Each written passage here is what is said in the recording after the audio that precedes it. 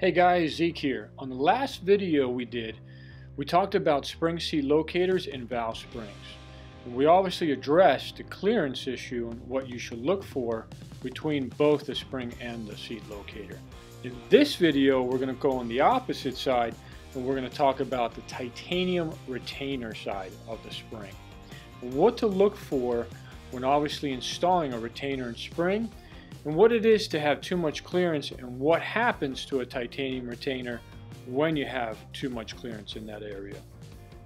So looking at what, how we manufacture, you know, we always look at obviously tolerances between valve springs.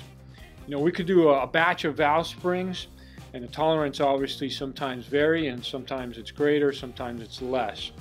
Tolerances on valve springs are always a situation where it's always greater so you want to obviously gear up and manufacture a retainer to where that fitment is what we call a press fit on the titanium. So press fit, so you're looking at a, retainer really going into that spring and you're pressing it on where there's very minimal clearance between both those areas. That obviously allows for a lot less wear throughout that bottom side of that retainer when you have excessive amount of RPM horsepower, you know, you're running a really large camshaft on the engine. This obviously improves quite a bit of that wear throughout. Now, we actually do a lot of testing with our physical C6 Ferrea Corvette on SV2 heads. And all this testing that we typically do is a lot that we do on our typical valve train components. So we look at our valves, we look at our springs, we look at our retainers, and this obviously improves the product where we're testing new materials, we're testing new coatings, we're testing new processes to see how well this actually works in the engine in this type of environment. Our C6, C6 Corvette actually runs in the Trans Am class uh, and we run it obviously continuous throughout the year um, in that class and we're very obviously very competitive.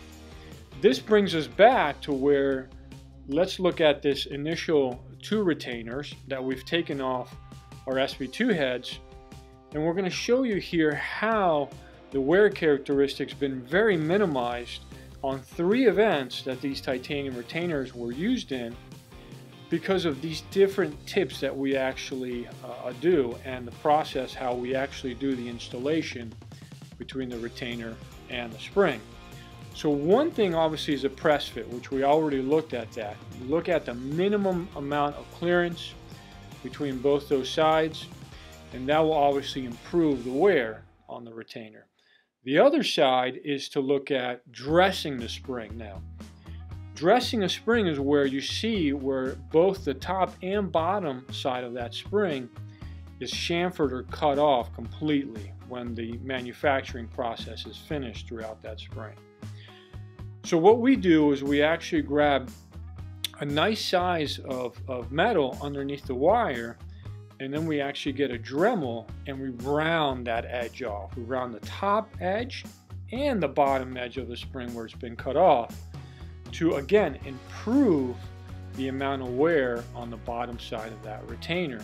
This improves it enormously because again you have a retainer that's going to move and that's really prominent in any valve train where you're going to have some valve float whether the valve float is continuous or it obviously uh, goes away you're still going to have some type of valve float inside that engine. And the spring obviously needs movement. The retainer needs movement as well as the valve area needs some movement so obviously dressing the spring, rounding the edge off on the top and bottom will improve quite a bit of the wear characteristic on the bottom of that retainer throughout.